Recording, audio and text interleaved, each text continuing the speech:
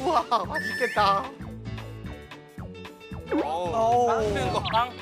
아유. 와, 진짜 많이 먹은 것처럼 편집해놨다.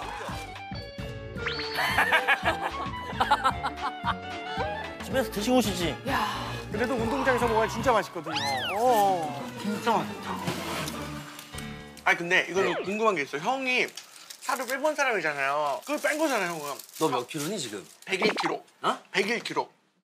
너 101이야? 원어원이야 너? 나야 너야. 프로듀서 원원이야, 프로듀서. 난 작곡가니까. 어, 프로듀서 원원. 프로듀서야. 어, 어, 원원. 느낌이 많이 다르네. 원우원인데. 원어원이 들으면 깜짝 놀라겠네요. 내 운동할 때는 먹고 하는 게 아니야. 뭐 하는 거 있노? 소세지. 뭐 하는 거 있노? 아니 소세지만 먹을 거야. 빵은 안 먹고 탄수화물 넣어. 아 진짜? 아 그럼. 야, 해봐. 에이, 맘대로. 살안 야, 쪄. 이씨. 너 맘대로. 살안 야, 쪄. 이씨. 왜안 쪄, 저거는? 아, 난. 너는 완전 식품. 너는 완전 식품. 왜? 탄수화물. 어, 단백질 어디 있는 거야? 소세지.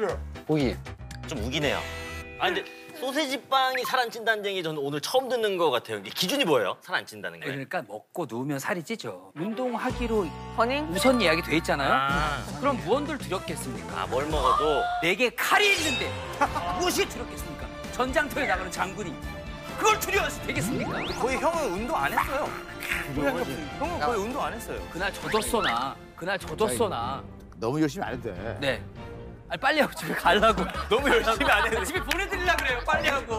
너무 열심히 네. 하지 말고. 네네. 너무 열심히 하는 깜빡. 아, 네 알겠습니다. 알겠습니다.